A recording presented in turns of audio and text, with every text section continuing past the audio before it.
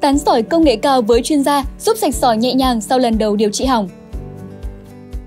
Sau 5 ngày kể từ khi rút sông Gigi ra khỏi cơ thể sau quá trình tán sỏi niệu quản trái qua da đường hầm nhỏ tại một bệnh viện khác, chú Dương Văn Điệp, 55 tuổi tại Hải Dương đã phải tức tốc đến bệnh viện đa khoa quốc tế Thu Cúc TCI để kiểm tra sức khỏe của bản thân khi có hàng loạt các biểu hiện diễn ra liên tục. Chúng bao gồm đau tức vùng hông lưng bên trái, đau âm ỉ, tiểu đục, sốt cao 38,5 độ liên tục, không thuyên giảm sau khi rút sông di niệu quản. Đây là những triệu chứng nằm trong danh sách các dấu hiệu cảnh báo người bệnh nên đi kiểm tra lại.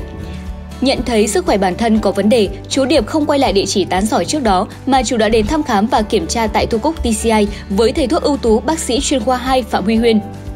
Kết quả sau thăm khám và chẩn đoán tại Thu Cúc TCI cho thấy chú Điệp có nhiễm khuẩn tiết niệu, giãn đài bể thận trái độ 3, niệu quản giãn khoảng 14 mm đến đoạn bắt chéo động mạch trậu thấy sỏi kích thước 6 x 5 mm.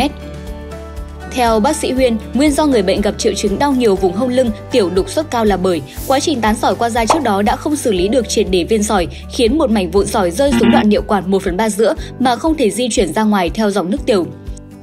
Đây là một trong ba vị trí niệu quản có đường kính hẹp hơn so với các đoạn khác theo cấu trúc tự nhiên. Do đó, nếu vụn sỏi không được tán vỡ thành kích thước phù hợp hoặc không được lấy hết ra ngoài, thì việc mắc kẹt rất dễ xảy ra.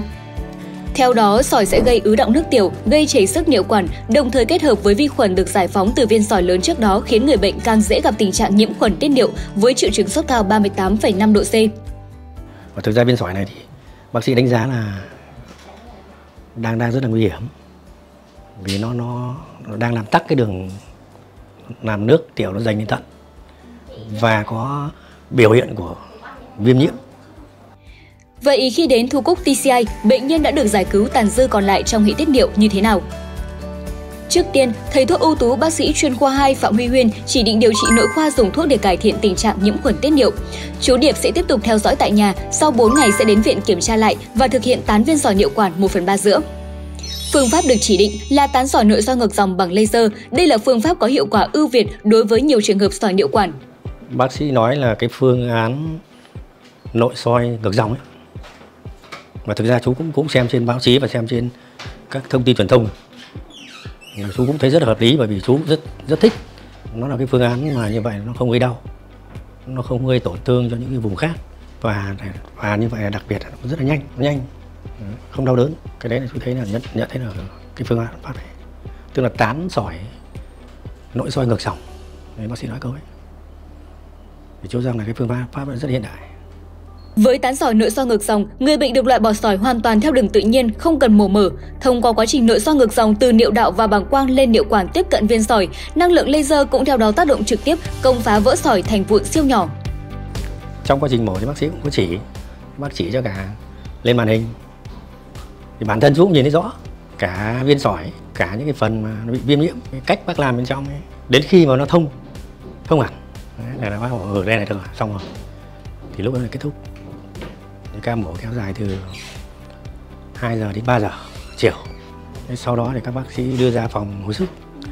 Ra hồi sức thì thực ra là lúc đấy chú cũng không thấy có cái gì yếu lúc ấy thì cảm khỏe hơn thấy sảng khoái hơn thì nằm khoảng nằm đấy khoảng 2 tiếng. Thì bây giờ thì hoàn toàn thoải mái một chút cảm nhận của chú Điệp sau khi khám và điều trị với bác sĩ Huyên.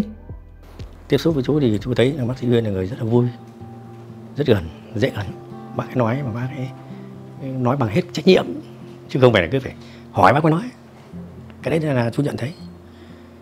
Cái thứ hai của bác là thậm chí là bác ấy còn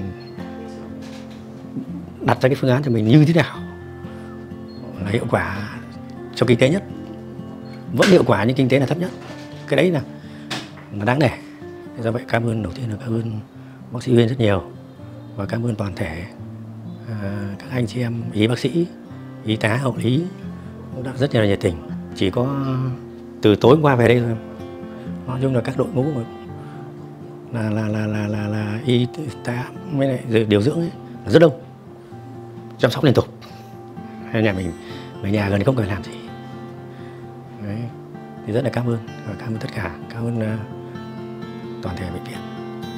như vậy có thể thấy tán sỏi công nghệ cao là phương pháp điều trị hiện đại, tân tiến. Tuy nhiên, người bệnh cũng nên cẩn trọng trong việc lựa chọn địa chỉ uy tín, bác sĩ giỏi chuyên môn để quá trình tán sỏi được diễn ra thành công và an toàn nhất.